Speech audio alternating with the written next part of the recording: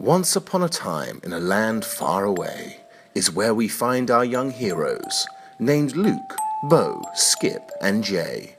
The boys were dreaming of their UK tour for the sights they might see and the cities they'd explore.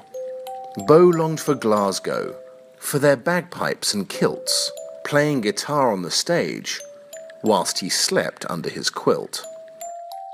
Jai dreamt of Manchester and all that he'd missed, like hitting nightclubs with fans, going out, getting pissed. Skip dreamed of Nando's, of Arsenal and London, and what rhymes with one stop on the tour? Birmingham. Seriously, we're, we're struggling. Newcastle, uh, yeah, you too, but uh, we love you. Luke thought of Dublin, the wild fans and their smiles, 'cause they sure make 'em crazy on that emerald green isle. And with that they awoke, eager to fly out and explore, and we'll see you all there on another fail tour.